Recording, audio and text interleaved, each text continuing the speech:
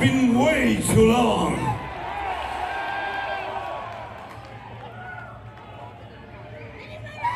I'd like to introduce to you who's up here. See the young lady up there? Doing additional vocals and playing keyboards. Please welcome Mirkua!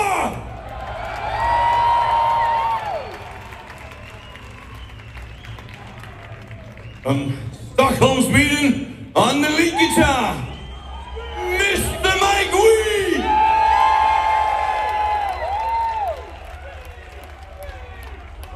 And on the bass guitar, also from Stockholm, Sweden, Pontus Egberg!